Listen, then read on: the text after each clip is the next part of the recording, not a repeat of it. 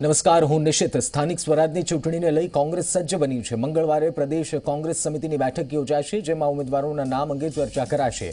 તો સાંજે પ્રદેશ પદાધિકારીઓની પણ બેઠક યોજાશે. બેઠકમાં વિપક્ષના નેતા પરેશ ધાનાણી ઉપસ્થિત રહેશે. વિપક્ષના નેતા પરેશ ધાનાણીએ દિલ્હી ખાતે કોંગ્રેસ અધ્યક્ષ રાહુલ ગાંધી સાથે મુલાકાત કરી હતી. આ દરમિયાન તેમણે ઝી ચોવીસ કલાક સાથે વાત કરતા મંગળવારે સ્થાનિક સ્વરાજની ચૂંટણીનો એજન્ડા નક્કી થશે તેમ જણાવ્યું.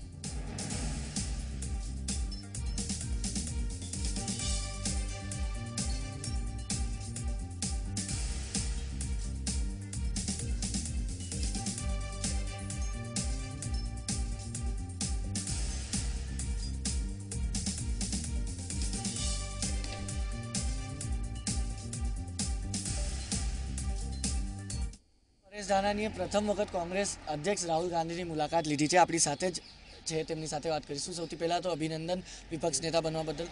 રાહુલજી સાથે મુલાકાત થઈ છે, શું કહેશો?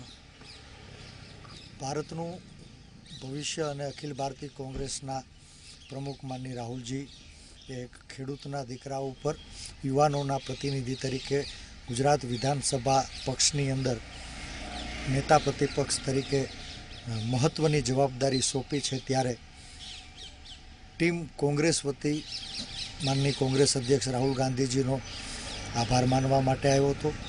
એમનું માર્ગદર્શન લેવા માટે આવ્યો હતો અને એમના માર્ગદર્શન તળે આવતા દિવસોમાં ગુજરાત વિધાનસભાની અંદર કોંગ્રેસ પક્ષના અમારા વરિષ્ઠ જે ધારાસભ્યો છે, અનુભવી ધારાસભ્યો છે, એમના માર્ગદર્શન તળે હોશ અને જોશના સમન્વય સાથે ગુજરાતની પ્રજા દરેક વર્ણ અને વર્ગની સમસ્યાઓને વાચા આપવા માટે કોંગ્રેસ પક્ષ એક રચનાત્મક વિપક્ષ તરીકેની ભૂમિકા ભજવે એ માર્ગદર્શનના સંદેશ સાથે એમનો અમે હૃદયથી આભાર માન્યો છે. વિપક્ષ સ્ટ્રોંગ થઈ છે. કેટલી ચેલેન્જીસ રહેશે તમારી સામે? એક યુવા નેતા પણ છો. લોકશાહી શાસન વ્યવસ્થાની અંદર સત્તામાં બેસનારા લોકોએ લોકોને અનુરૂપ નીતિઓ ઘડવાની હોય અને એ સરકારી નીતિઓથી લોકોને ક્યાંય દર્દ હોય, ક્યાંય વેદના હોય, ક્યાંય પીડા હોય, તો એને વાચા આપવાનું કામ એ વિપક્ષનું હોય છે. અને અમારી વિધાનસભા કોંગ્રેસ પક્ષની ટીમ એ હોશ અને જોશનો સમન્વય છે. અને ગુજરાતની પ્રજાએ પણ કોંગ્રેસ પક્ષ ઉપર ભરોસો મૂકી. અને એક સક્ષમ વિપક્ષ તરીકે એમનો અવાજ બનવા માટે આશીર્વાદ આપ્યા છે. ત્યારે આવતા દિવસોમાં અમે લોકોની સમસ્યા અને કોંગ્રેસ પક્ષ એ એક સિક્કાની બે બાજુઓ પર્યાય બનીને રહે એ રીતે સતત અમે લોકોની વાતોને વિધાનસભાની અંદર મૂકતા રહીશું. સ્થાનિક સ્વરાજની ચૂંટણી છે નજીકોમાં. તેને લઈને પણ શું કોઈ ખાસ રણનીતિ કોંગ્રેસની?